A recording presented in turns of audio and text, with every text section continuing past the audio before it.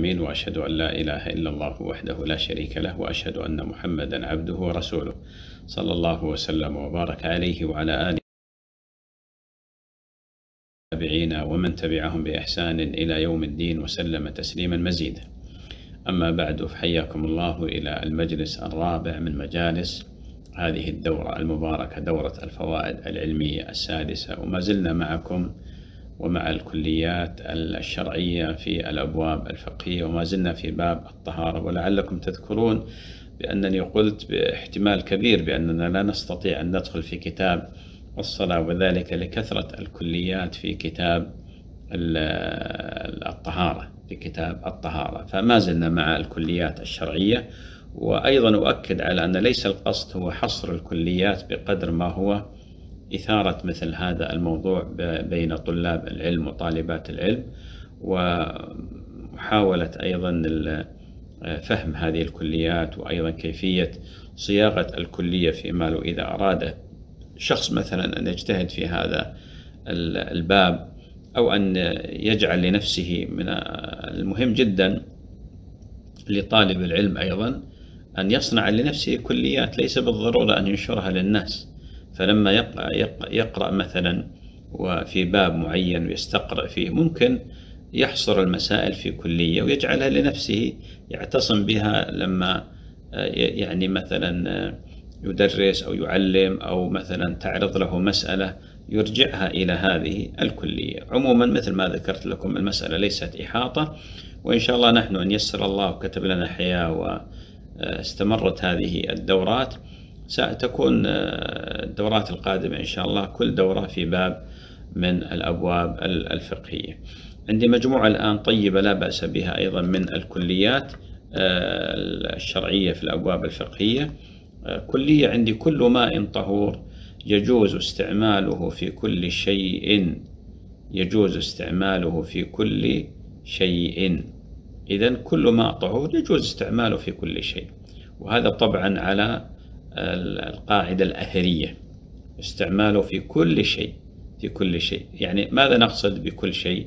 نقصد بأن هناك استعمال عبادي واستعمال عادي. الاستعمال العبادي في أي شيء؟ في رفع الحدث الطهارة الصغرى والكبرى في الوضوء في الجنابة في الحيض والنفاس بالنسبة للمرأة. طيب العادي استعماله في بقية الأشياء العادية. آه، سقي الأشجار غسل البيوت غسل السيارات آه، سقي رش البناء أي شيء أمور أمور عادية. إذا هذه كلية مهمة ولذلك هذه تعتصم بها. فالماء الطهور يستعمل في كل شيء. لكن أحيانا لما نأتي إلى قاعدة المذهب عند الحنابلة نقول إلا ما خلت به آه، المرأة لرفع حدث لرجل. وذكرنا لكم ما يشترطون امرأة بالغة الماء يسير خلت به. ولهم كلام في مسألة الخلوة. هل يلزم منها آه، أن تكون خلف باب؟ هل أو المناط الرؤية فقط؟ المناط رؤية حتى لو كانوا في في محل واحد يعني خلت به خلوة نظر أو خلوة انفراد. كلام طويل. لكن الراجع ماذا؟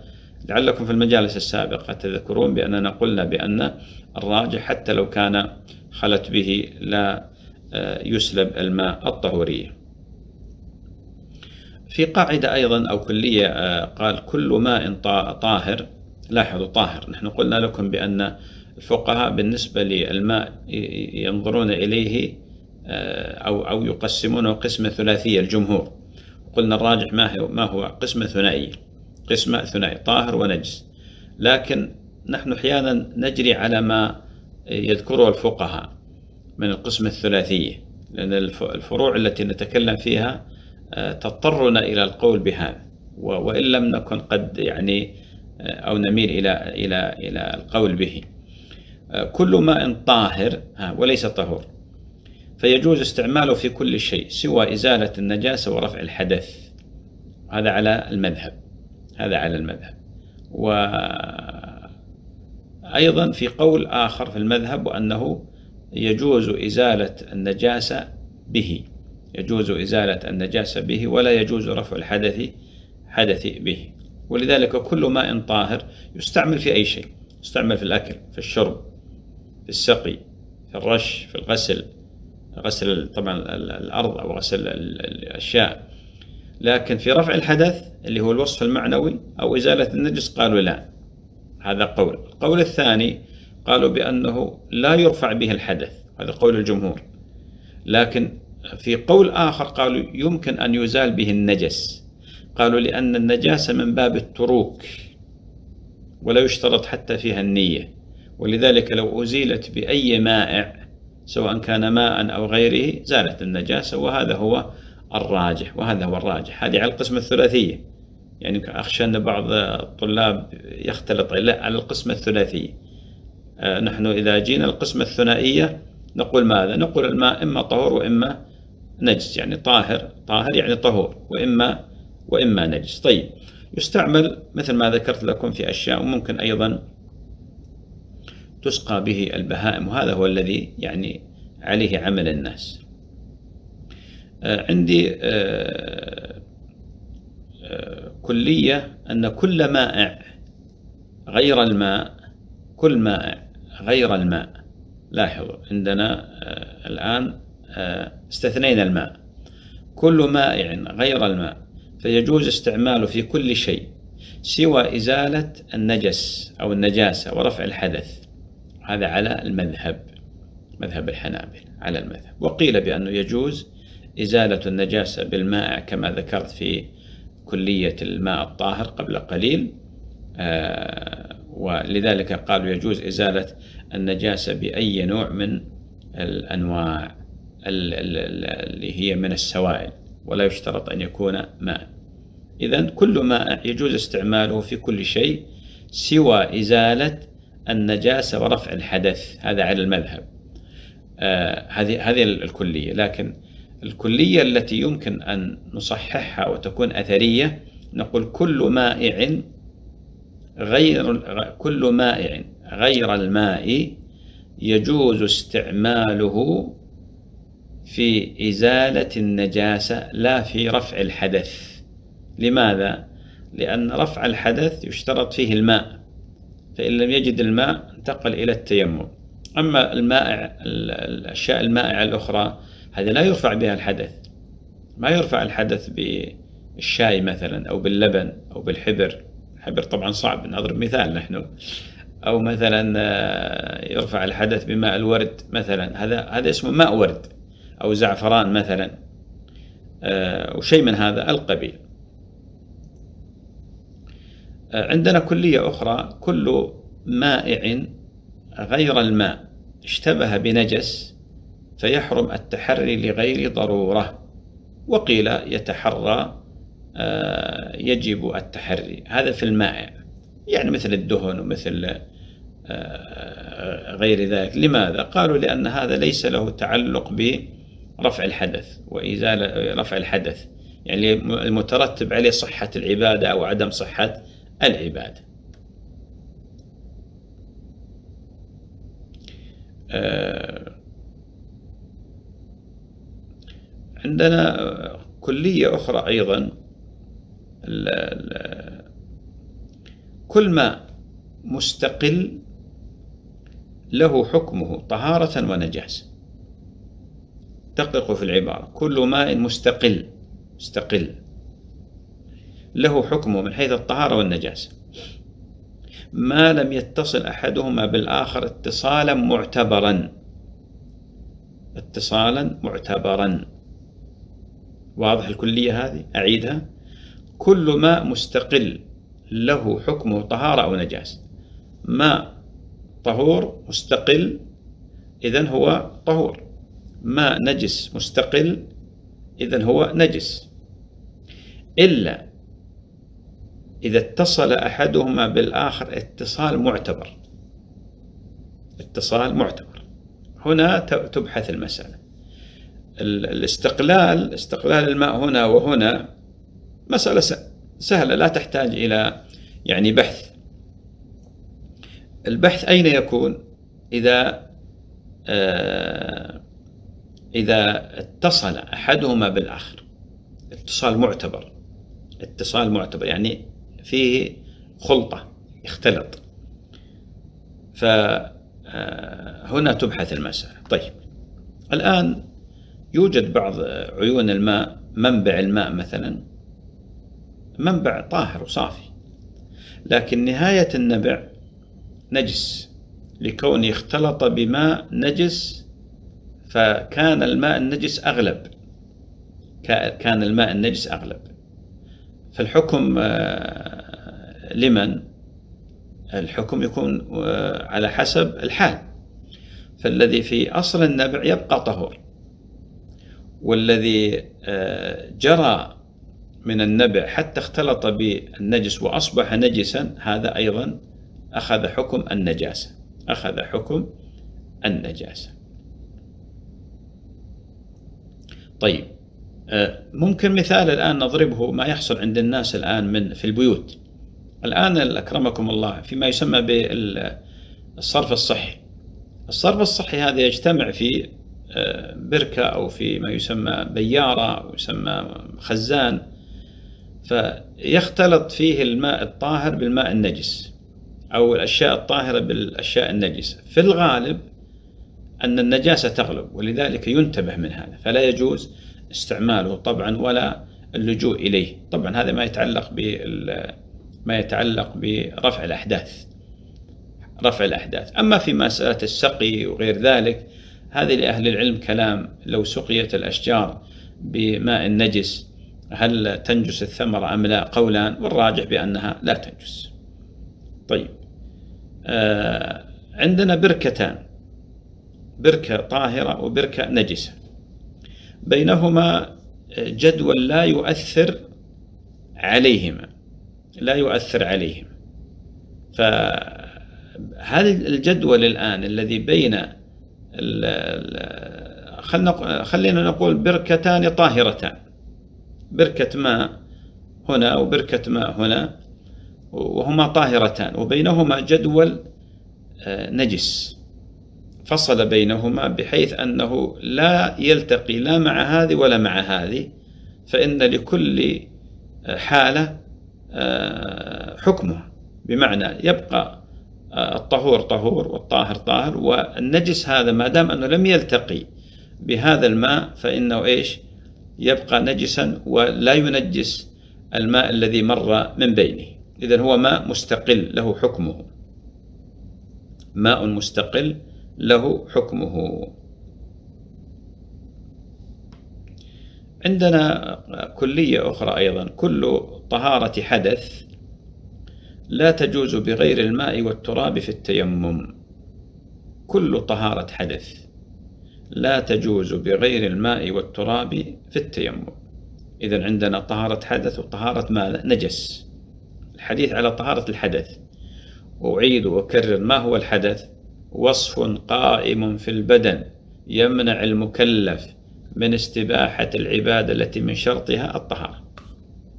طيب إذا لم إذا لا يوجد عند الإنسان ماء لكن عنده مثلا آه، خل أو عنده مثلا لبن أو عنده مثلا زعفران هل يتطهر به؟ أم ينتقل إلى التراب؟ لا ينتقل إلى التراب. لماذا؟ لأن طهارة الحدث لا تكون إلا بالماء أو التراب فإن لم تجدوا ماء فتيمموا. فإن لم تجدوا ماء فتيمموا. وهناك قول طبعا في بعض المذاهب الفقهية على أنه ممكن الوضوء بالنبيذ ولهم كلام في هذا ويستدلون بحديث ابن مسعود آه، في مسألة وضوء النبي صلى الله عليه وسلم بالنبيذ وكلام طويل حول هذه المسألة لا أريد أن أخوض فيها وهي مسألة ضعيفة. والمقصود بأن الطهارة من الحدث لا بد أن تكون بالماء فإذا فقد الماء أو أو عجز المكلف عن استعماله ينتقل إلى إلى التراب ينتقل إلى التراب. ولذلك أي ماء سواء أي ماء حتى ولو كان طاهرا لا يجوز التطهر به لأنه لا يرفع الحدث لا يرفع الحدث.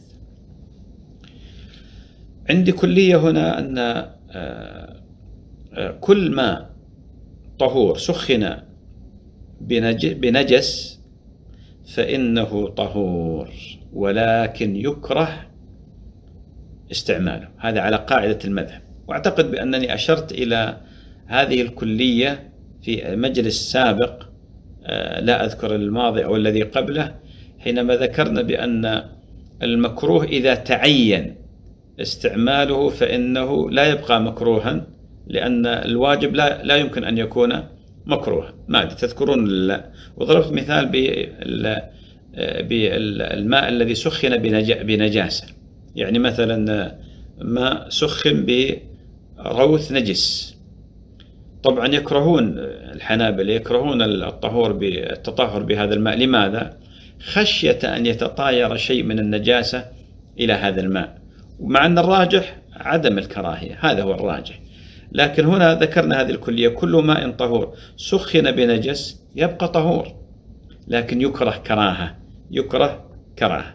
ولذلك قد يكون آه، بعض الناس يعني خاصة اللي يحتاجون إلى تسخين الماء ما عنده إلا إلا الروث النجس أكرمكم الله في يعني يوقد عليه. يوقد عليه نقول يجوز يصح. والراجح حتى آه، من دون كراهة. كذلك الحطب النجس أحيانا قد يكون هناك حطب قد تنجس مثلا آه، فيعني يوقدون عليه يوقد على بهذا الحطب لأجل تسخين الماء والراجح بأنه ماذا؟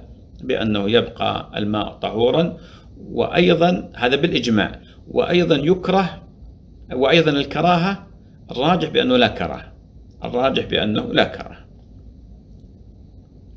عندنا كلية أيضا كل ما سخن بطاهر فلا يؤثر في سلب طهورية الماء. كل ما سخن بطاهر هذا لا يؤثر في في الماء الطهور. مثلا الحطب غير النجس الأصل أن الحطب طاهر.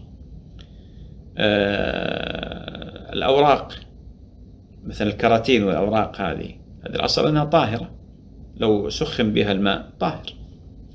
عندنا الآن التطهير بالأشياء الكهربائية يسمونه هيتر أو أو شيء من هذا القبيل.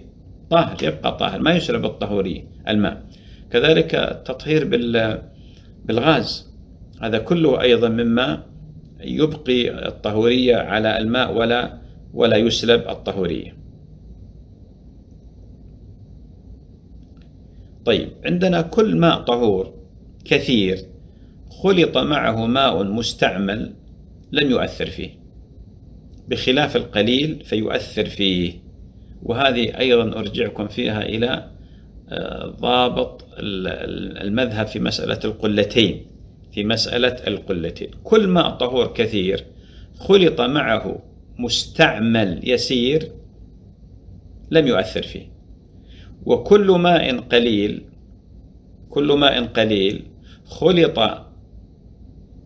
آه، معه كل ماء قليل طهور خلط معه ماء كثير مستعمل فإنه إيش؟ يسلب الطهورية. هذه قاعدة مذهبية بالمناسبة. واضح ولا أفصل أكثر؟ خلني أفصل أكثر. كل ما عندنا القسمة الثلاثية أرجع. نحن الآن يعني نتفقه ونتعلم ونستنبط. ليس بالضرورة أن نرجح. كل ماء طهور كثير. كثير كم يعني؟ قلتين فأكثر. خزان كبير عندي. فخلط به ماء قليل مستعمل. قليل مستعمل. طيب خلونا نضرب مثال واقعي أكثر واقعية. عندي قدر قدر كبير. فيه ماء طهور. وهذا الماء الطهور أريد أن أستعمله في في الاغتسال. فأضفت إليه ماء مستعمل سابق. استعملته في وضوء استعملته في تجديد وضوء مثلا. فإن هذا الماء الكثير يبقى طهورا ولا ولا يسلبه هذا الماء المستعمل الطهورية إلى الطاهرية لا يبقى طهورا. في المقابل كل ماء طهور وكان يسيرا وخلط بماء كثير مستعمل سلب الطهورية وانتقل إلى الطاهرية. هذه قاعدة المذهب.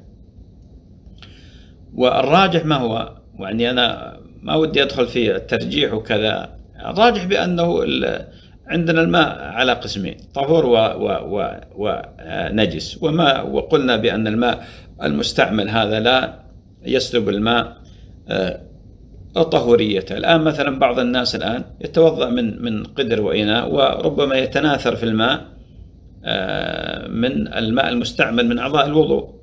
يبقى الماء طهور ولله الحمد ويستعمله لكن يقول مثل العلماء المستعمل في رفع حدث أكبر أو أصغر. الآن مثلا عندنا ماء مستعمل في حدث أصغر أو أكبر.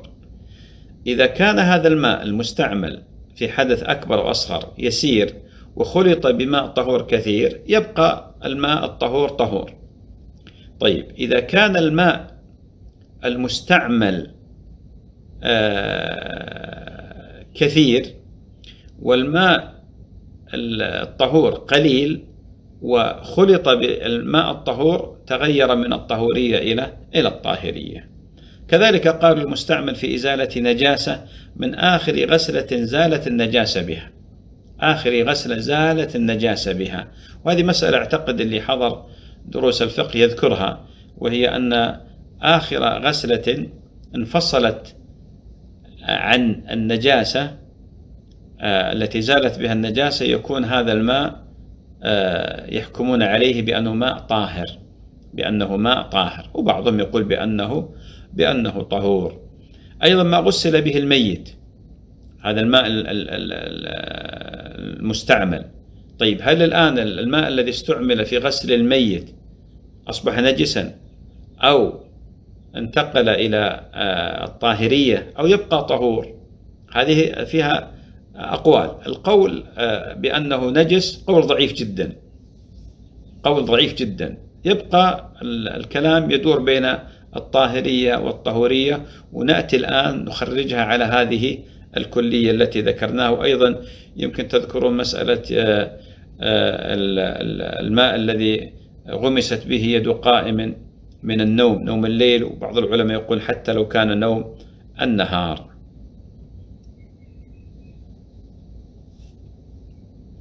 آه، عندنا قاعدة مهمة هي تأتي ضمن هذا السياق. كل ماء طاهر أو طهور غير مطهر يدفع النجاسة عن نفسه على قاعدة المذهب. إذا بلغ قلتين لحديث القلتين اللي دائما نردده في هذه الدورة. وبعض العلماء قالوا بأنه ينجس. كل ماء طاهر كل ماء طاهر. أو طهور أو طهور. غير مطهر يدفع النجاسة عن نفسه. يدفع النجاسة عن نفسه إذا بلغ قلتين. إذا بلغ قلتين. كل ماء طاهر. غير مطهر أو طهور. الأصل أنه يدفع النجاسة عن نفسه إذا بلغ قلتين. وهذا آه، سبق أننا أنني ذكرته وضربت عليه الأمثلة. في كلية مهمة كل ما يمنع كمال الإسباغ فهو مكروه. طبعا تعرفون بأن السنة في الوضوء أن أن يسبغ المتوضئ آه، أن أن يأتي بالمتوضئ بالإسباغ وهو الإتمام والإكمال. الإتمام والإكمال. لا الإخلال. للإخلال ولذلك في الحديث قال إسباغ الوضوء على المكاره. والمعنى أن يأتي بالوضوء كاملا. أما إذا أخل بالوضوء لا. يعني بعض الناس يفهم الإسباغ هو أن يأتي بما يمكن أن يأتي به. حتى لو حصل مثلا إخلال بالعضو يعني مثلا يغسل يديه إلى مثلا إلى الذراع هنا. يقول صعب يرفع الكم. لا هذا وضوءه باطل. المقصود بالإسباغ الإكمال والإتمام. هذا هو المعنى على المكاره في البرد الشديد أو في الحر الشديد. في كلية مهمة. يقول كل ما يمنع كمال الإسباغ فهو مكروه. هذه كلية مهمة وصحيحة. كل ما يمنع كمال الإسباغ فهو مكروه. وكنت أتمنى أن يكون تكونون عندي وأكون عندكم حتى نسألكم يعني مثلا كما جرت العادة نستنطقكم مثل إيش. أعتقد بأن الجميع الآن يعني ينقدح في ذهنه أمثلة كثيرة. يقولون الماء الحار حرارة شديدة هذا يمنع الإسباغ هذا صحيح. نحن نجرب أحيانا يعني لما يصير مثلا في في فترة الصيف لما نأتي نتوضأ أحيانا صعب الماء استعماله فيمنع الإسباغ يمنع الإسباغ ولذلك تتركه حتى يبرد. لا تستعمل الماء الحار حرارة شديدة الذي يمنع الإسباغ أما إذا كان ما يمنع الإسباغ آه، قلنا الأصل إيش؟ الجواز. كذلك الماء البارد آه، بردا شديدا أيضا يمنع الإسباغ فتتركه أو تسخنه مثلا بالقدر الذي تستطيع أن تستعمله بإسباغ. أيضا آه، الأشياء التي يضعها الإنسان على بدنه من الكريمات أو الدهونات مثلا اللي تمنع تمنع الإسباغ. عندنا بالمناسبة ما يستعمله الناس آه، مثلا من المراهم أو الكريمات أو شيء من هذا القبيل على نوعين. نوع يحول بين الماء والبشرة يمنع وصول الماء إلى البشرة. هذا لا يصح الوضوء مع وجوده مثل طلاء الأظافر مثل الأصباغ هذه الزيتية التي لا تذهب بالماء وإنما تحتاج إلى دلك وتحتاج إلى إزالة واستعمال مواد أخرى. هذا لا يصح الوضوء بوجوده. لا يصح الوضوء بوجوده إلا ما استثناه العلماء إذا كان نقط يسيرة وشق على المتوضئ يعني إزالتها.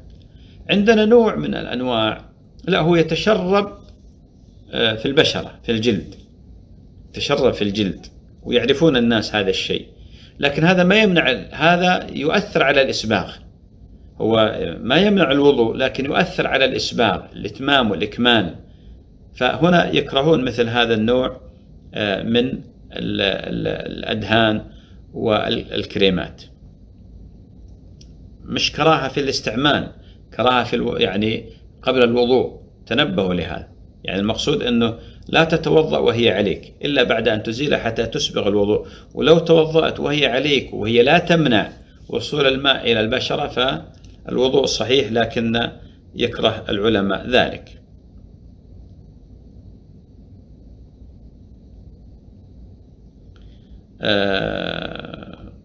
عندي قاعدة هنا.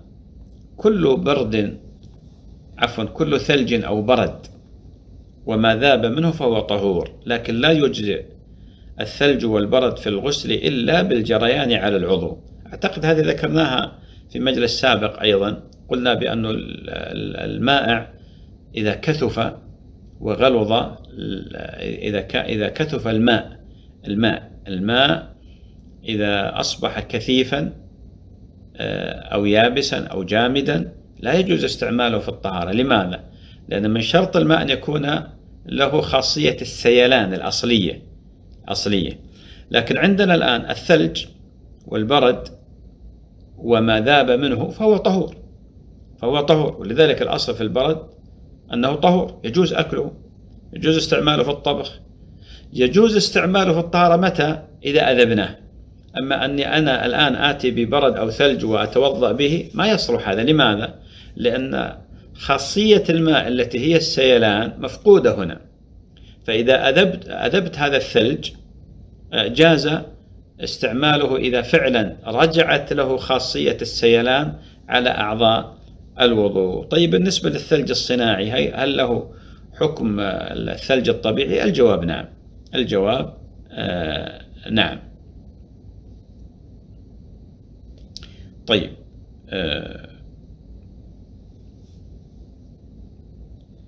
كل عندي كلية هنا مهمة. كل ماء طهور في استعماله ضرر فهو في حكم العدم. كل ماء طهور إذا استعمله المكلف سبب له ضرر فهو في حكم العدم. هذه قاعدة مهمة تدخل ضمن القاعدة. هذه كلية مهمة تدخل ضمن القاعدة الكلية الكبرى. المشقة تجلب التيسير وأيضا لا ضرر ولا ضرار. فالله جل وعلا يقول ولا تقتلوا أنفسكم إن الله كان بكم رحيما. يقول جل وعلا ولا تلقوا بأيديكم إلى التهلكة. قل جل آه، وعلا فاتقوا الله ما استطعتم وما جعل عليكم في الدين من حرج. النبي عليه الصلاة والسلام يقول لا ضرر ولا ضرار. طيب. إذا كل ماء طهور إذا استعمله الإنسان تسبب له ضرر يكون في حكم العدم. نضرب على هذا أمثلة. آه، الأمثلة هذه إما أن تكون في ذات الماء أو أن تكون في ذات المكلف. يعني الأمر إما أن يكون سببه الماء ذاته وإما أن يكون الأمر راجع إلى إلى المكلف. آه، مثلا آه، شخص لديه ماء طهور لكن إذا استعمله تضرر هلك أو يمرض مثلا. هذا يوجد يعني مثلا شخص أجرى عملية امرأة مثلا أجرت عملية آه، شخص مثلا آه، منعه الأطباء من استعمال الماء عملية في العين عملية في الأنف مثلا أصبح الماء في حكم المعدوم. لكن عندنا تفصيل هل الذي يستطيع أن يستعمل الماء في بعض الأعضاء دون بعض ينتقل إلى التيمم أم يستعمل البعض على قاعدة الميسور لا يسقط بالمعسور؟ يعني مثلا الآن يقول لك شخص مثلا آه، أنا أجريت عملية في الجوب الأنفية والطبيب منعني من استنشاق من الاستنشاق مدة معينة هل أتوضأ أم أتيمم؟ نقول لا توضأ لكن اترك الاستنشاق. لماذا؟ لأن حكم الاستنشاق عند العلماء يدور بين الوجوب وبين السنية. ما فيها إجماع يدور بين الوجوب وبين السنية. ولذلك في مثل هذه الحالات مثل هذه الحالات لا يترك المكلف الوضوء كاملا لأجل آه، مسألة محل خلاف. ولذلك نقول توضأ واترك الاستنشاق. طيب إذا كانت ال كان ال الألم في الرأس مثلا أو في الوجه أو في العينين قالوا الماء لا يصل إلى وجهك كاملا. فهل ينتقل إلى التيمم أم يغسل بقية الأعضاء؟ آه على قاعدة الميسور لا يسقط المعسور. ثلاث أقوال عندنا في المسألة. أنا ما ودي والله أدخل في مسائل الخلاف لكن طيب أننا نذكر هذه الأشياء. من العلماء من قال يسقط عنه تسقط عنه الطهارة بالماء ينتقل إلى التيمم.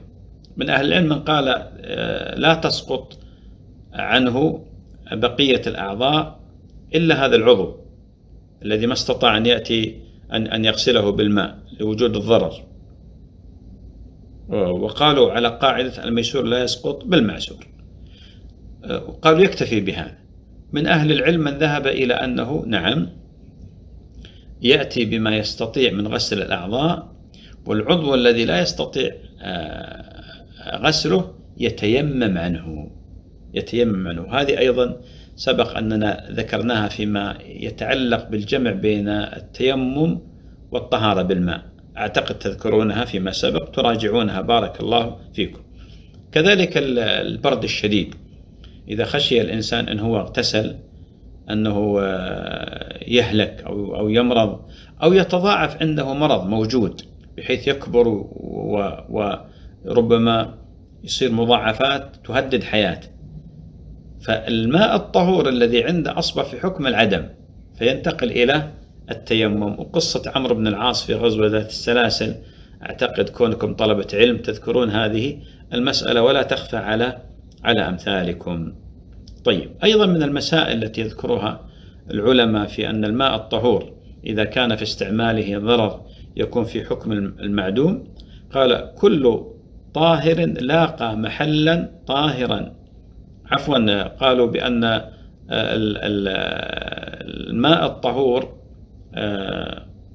قالوا بأن الماء الطهور هذا إذا اختلط بماء طاهر ولم يتميز ف وكان الطاهر أكثر من الطهور قالوا أصبح الآن في حكم عادم الماء الطهور في حكم عادم الماء الطهور وينتقل إلى التيمم على قاعدة المذهب. طبعا يقول يستعمل ويتيمم وأيضا أرجعكم إلى القاعدة السابقة آه، آه، التي ذكرناها في مسألة الجمع بين التيمم وبين آه، وبين الماء. عندنا قاعدة الآن وهي قاعدة كل نجاسة معنوية فلا تنجس الماء ولا غيره من المائعات. إذا عندنا النجاسة على نوعين نجاسة حسية ونجاسة معنوية. النجاسة الحسية معروف النجاسة المعنوية هي الحدث. هي الحدث لأنه ما يمكن أن يقال هناك نجاسة معنوية وأنه المقصود الحدث. الحدث ما هو؟ وصف قائم في البدن يمنع المكلف من استباحة العبادة التي من شرطها الطهارة. ولذلك النجاسة المعنوية آه، ليست نجاسة حسية بحيث أن من لابسها أو لمسها أو اختلط بها أنه ينجس. وعلى هذا فروع. ولذلك شيخ الإسلام رحمة الله عليه يقول عبارة جميلة تختصر لنا هذه القاعدة وهي ليس كل طهارة ضدها النجاسة. كلام جميل ليس كل طهارة ضدها النجاسة طيب آه عندنا مثلا الله عز وجل قال إنما المشركون نجس فلا يقرب المسجد الحرام بعد عامهم هذا. طيب ما هي النجاسة هنا؟ جماهير أهل العلم بل حكي الإجماع على هذا على أن النجاسة ماذا؟ معنوية وليست نجاسة حسية على خلاف قول ابن حزم الظاهري. طيب الآن لو أن شخص متوضأ وصافح إنسان غير مسلم هل تنجس؟ الجواب لا. لماذا؟ لأن النجاسة معنوية وليست حسية. يعني حدث حدث عقيدة. هذا هذا المعنى. كذلك الحائض والنفساء النجاسة عندها إيش؟ معنوية يعني حدث. فبدن الحائض طاهر بدن النفساء طاهر. فلو أن متطهر لامس حائضا أو نفسا آه، فإنه لا ينتقض وضوءه ولا يتنجس. والنبي عليه الصلاة والسلام كان إذا ربما كما تقول عائشة آه، تنام معه وهو وهو وهي وهي حائض. ويخالطها النبي عليه الصلاة والسلام. ولذلك كان النبي عليه الصلاة والسلام ما يعتزل نساءه في فترة الحيض وإنما كان يعاشرهن المعاشرة الطبيعية إلا مسألة الجماع. لأن الله تعالى قال ويسألونك عن المحيض قل هو أذى فاعتزلوا النساء في المحيض ولا تقربوهن حتى يطهرن. فإذا تطهرن فأتوهن من حيث أمركم الله. واضح؟ ولذلك المرأة الحائض الآن تطبخ وتعمل وتكنس ويعاشرها زوجة في غير الجماع. كل هذا يدل على أنها أن أن الحدث معنوي وليس الحدث مادي حسي. كذلك لو أن شخصا حمل محدث شخصا عليه حدث. فما حكم صلاته؟ صحيح. الآن ما نحمل الأطفال نحن في الصلاة أحيانا نحمل وفي الطواف أيضا. نحمل الأطفال. والطفل في الغالب أنه يعني غير متطهر. آه، وإن كان لا يعني الكلام لا يوجه إليه كونه غير مكلف ولا مخاطب. لكن لو أن شخص متطهر وحمل آخر على على على ظهره وهو مصلي أراد أن يصلي وهذا المحمول على ظهره مثلا أو المحمول على ظهره في الطواف. نقول بأن الطواف صحيح والصلاة والصلاة صحيحة. فمن حمل آه، محدثا والتعبير تعبير الكلية متنجسا نجاسة معنوية فإن الحامل لا يتنجس بهذا وعبادته صحيحة ولله الحمد والمن وعلى هذا يجري مسألة آه، سؤر الكافر مثلا الآن يجوز للمسلم أن يتزوج كتابية كتابية. فعرقها طاهر سؤرها أيضا آه، طاهر هذا كله هذه قاعدة كلها آه، مهمة. آه، في كلية مهمة أيضا كل محدث فليس بطاهر شرعا. كل محدث فليس بطاهر شرعا. لاحظ شرعا قلنا. القيد هذا مهم جدا. هذا طبعا من فروع المسألة آه، مثلا مسألة مس المصحف. هذا قول جماهير أهل العلم. المحدث حدث الحدث غير النجاسة. آه، من الناحية آه، الناحية المادية الدنيوية هو طاهر وليس بنجس. يعني لمسه شرب شرب فضلته عرقه كل هذا طاهر مثل ما ذكرنا قبل قليل. ها؟ لكن من الناحية الشرعية لا. نقول كل محدث فليس بطاهر شرعا. طيب أي طهارة؟ ليست الطهارة التي في مقابل إيش؟ النجاسة مثل ما قال أبو العباس رحمة الله عليه. ها؟ مثل ما قال أبو العباس حينما ذكر عبارة ليس كل طهارة ضدها النجاسة تنبه لهذا. ولذلك لما يعتصم طالب العلم بهذه الكلية يستطيع تخريجها فإذا جاءه شخص قال والله أنا محدث ممكن أمسك المصحف يقول له لا لماذا؟ لأنه ليس كل ليس لأن كل محدث ليس بطاهر شرعا. كذلك لو حلف رجل مثلا قال حلف بالله العظيم ما يدخل هذا البيت إلا طاهر. ما يدخل هذا البيت إلا طاهر. طيب إذا دخله وهو غير متوضئ يحنث أم لا؟ قالوا يحنث. قالوا يحنث. لماذا؟ لأن المحدث ليس بطاهر شرعا وهو حلف الآن ليس بطاهر شرعا. نعم. في عندنا آه، يعني قواعد كثيرة حول مسألة المياه. مثلا عندنا وحقيقة ضربنا عليها أمثلة كثيرة. كل ماء مستعمل يسير وقع في طهور لا يسلبه الطهورية ويعفى عنه لمشقة التحرز. بحثت قبل قليل وذكرنا كلام العلماء منهم من آه، يجعل المناط الكثرة ومنهم من يجعل المناط القلة. ولكن نحن حقيقة كقاعدة أثرية هذه كلها غير معتبرة. عندنا الماء الطاهر على تفسيرات جمهور الفقهاء اللي يستعمل في أو غمست به يد قائم من نوم ليل أو استعمل في طهارة مثلا فإن هذا كله طهور ولله الحمد والمن طيب آه عندنا بالنسبة لموضوع الآنية كل إناء طاهر يجوز يجوز اتخاذه واستعماله ولو كان ثمينا إلا الذهب والفضة والمموه بهما والمموه بهما. كل إناء طاهر. كل إناء طاهر. يجوز اتخاذه. اتخاذه. اتخاذ غير الاستعمال. الاتخاذ غير الاستعمال معروف. ولو كان ثمينا. عندنا آنية آنية ثمينة جدا. يجوز استعمالها ويجوز اتخاذها إلا آنية الذهب والفضة والمموه بهما. لماذا؟ للنص. لأن النبي عليه الصلاة والسلام نهى عن الأكل والشرب في آنية الذهب والفضة وبين الوعيد الشديد في ذلك وأن من شرب في آنية الذهب والفضة فإنما يجرجر في بطنه نار جهنم. قد أخبر النبي صلى الله عليه وسلم بأن لهم في الدنيا ولنا في الآخرة ولنا في الآخرة.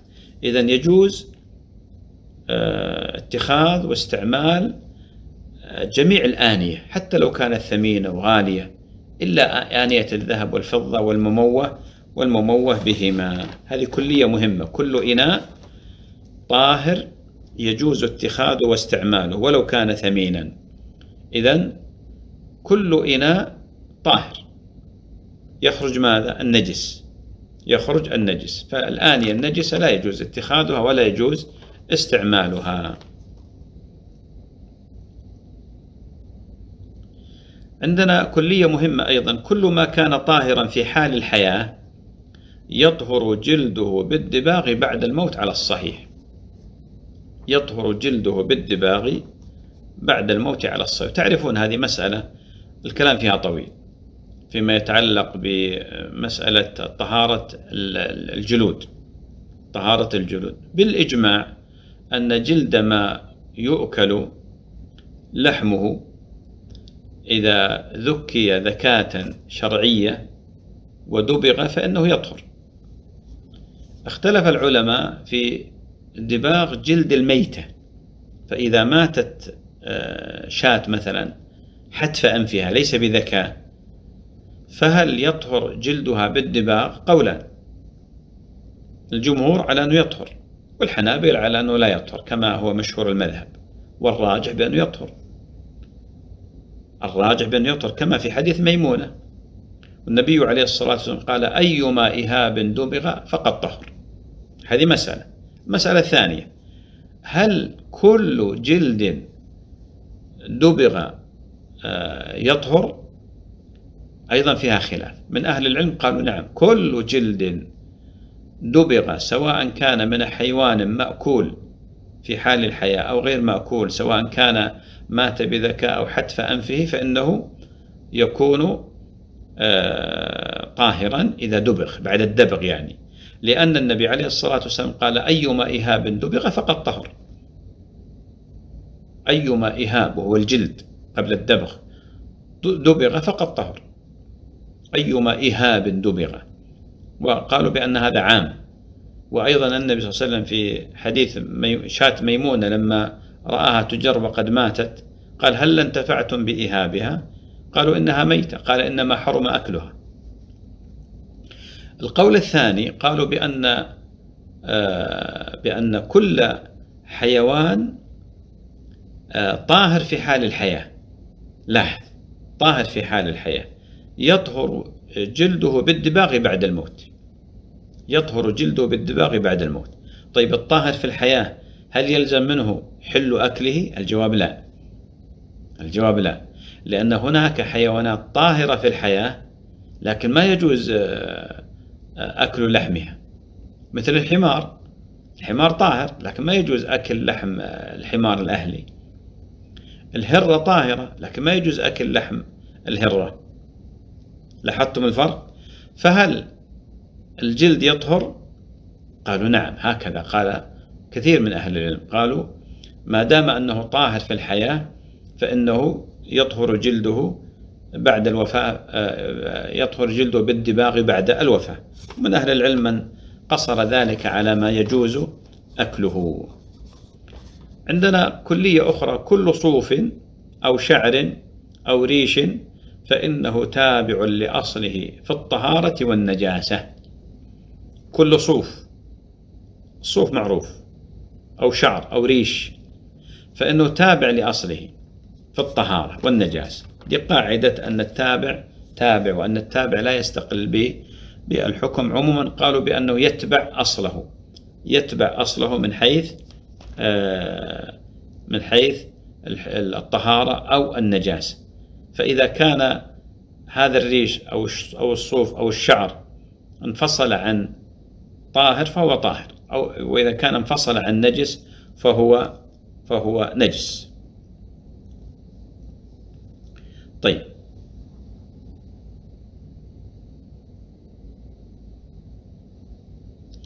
آه عندنا آه قاعدة كل طهارة طهارة تبرد أو طهارة غير مشروعة فلا تؤثر في جعل الماء مستعملا ولا تسلبه الطهورية.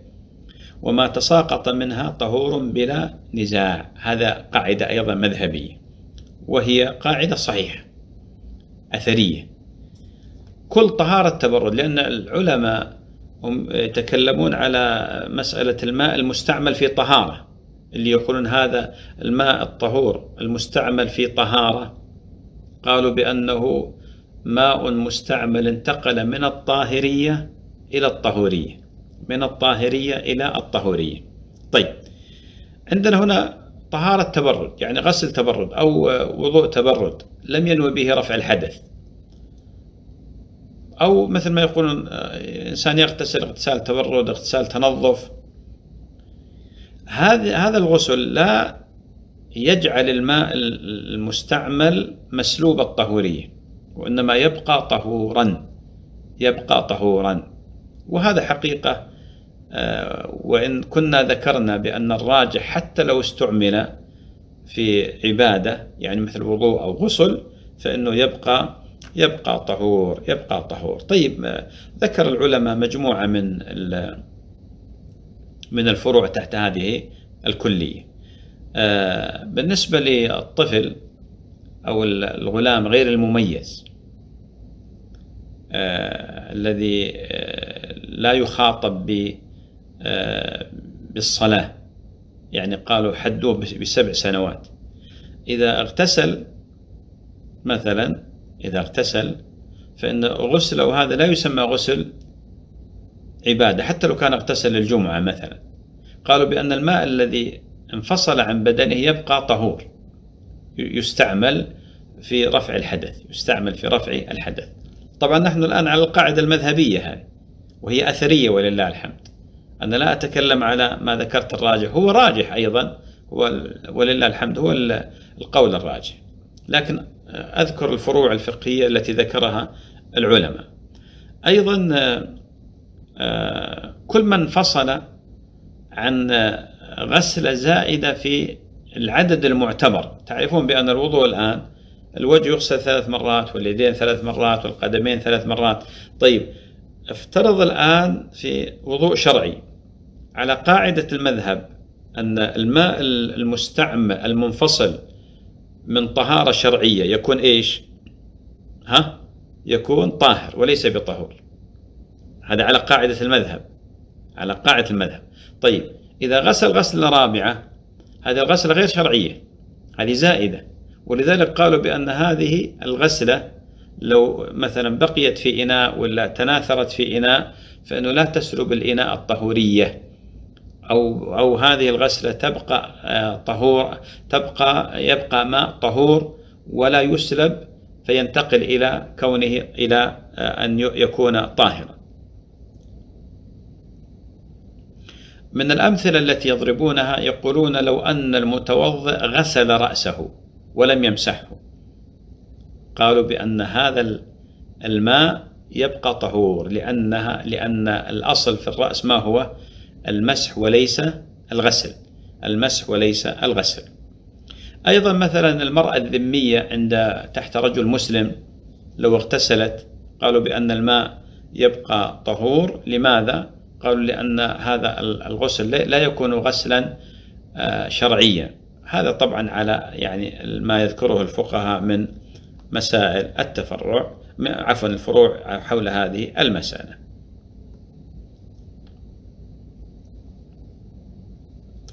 طيب آه، عندنا كلية كل ما تغير بطول مكث أو تغير بنفسه فلا يسلب الطهورية. وهذه أعتقد أشرنا إليها باختصار.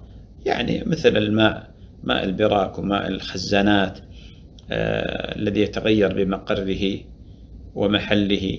لا بشيء يطرأ فيه. هذا كله يبقى آه يبقى طهور. ولذلك بعض الماء يتغير بطول المكث. يصبح فيه شيء أخضر مثلا من الطحالب والنباتات أيضا تنبت فيه وشيء من هذا من هذا القبيل. طيب عندنا كلية أيضا آه، كل ماء مستعمل بلا نية فلا أثر لاستعماله. وهذا ندخلها في الكلية السابقة فيما يتعلق بالماء الذي يستعمل في العادات لا في العبادات. والمسألة عموما هي واحدة. عندنا آه، كلية من الكليات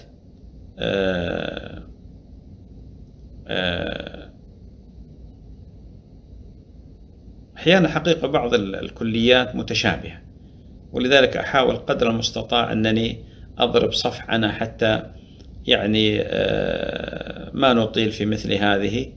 الحالة. عندنا مثلا آه، كل أمر اشتبه فيه مباح بمحرم فلا يجوز التحري. هذا على الصحيح من المذهب. ما لم يزد يزد عدد المشتبه زيادة كبيرة عن العادة ومن أهل العلم من ذهب إلى أن التحري باق. التحري باق. مثال يعني يضربون أمثلة على هذه الكلية. إذا اشتبه اشتبه ماء مباح بماء محرم. ماء محرم مثل إيش؟ الماء المحرم المغصوب. المغصوب. قالوا بأن في هذه الحالة لا يتحرى وإنما ينتقل إلى التيمم. هذا على قاعدة المذهب. والصحيح ماذا قلنا؟ بأنه يتحرى. فإن لم يتبين له يتوضأ ولا شيء عليه. يتوضأ ولا شيء عليه. أنا أحاول قدر المستطاع أنني ما أدخل في مسألة الترجيح لأننا نحن الآن في مسائل نتدرب على الكليات ونحاول أن نثير نثير المسائل. آه، إذا اشتبه أيضا طهور بنجس. آه، القاعدة أيضا يحرم ماذا؟ استعمال المائين. استعمال المائين. والصواب قلنا ماذا؟ يتحرى يتحرى والتحري هو الاجتهاد والنظر والتأمل في الوصول إلى الماء الطهور من الماء النجس. طيب اشتباه الثياب الطاهرة أيضا بالمحرمة وليست النجسة ها بالمحرمة على المذهب بأنه إيش؟ لا يتحرى ويصلي عفوا المحرمة النجسة يعني. إذا اشتبه ثياب طاهرة بمحرمة يعني بنجسة أو محرمة. يعني عندنا ليس كل محرم نجس. وكل نجس محرم. ذكرنا هذا. مثال إيش المحرم اللي اللي لا يكون نجس؟ المغصوب الثوب المغصوب. ثوب الحرير مثلا. ثوب الحرير. هذا محرم وليس نجس. يعني لو لمس الواحد ثوب الحرير ما تنجس بالنسبة للرجل طبعا. فالمقصود إذا اشتبه ثياب طاهرة بمحرمة أو نجسة قاعدة المذهب التي سبق أن أشرنا إليه ماذا يقولون؟ قالوا يقولون بيصلي بعدد المحرم أو النجس ويزيد صلاة. فإن لم يعلم العدد صلى حتى يتيقن. صلى حتى يتيقن. إذا اشتبه الثياب طاهرة بثياب محرمة أو نجسة قالوا لا قالوا هنا لا يتحرى يصلي آه، بعدد النجس. بعدد النجس.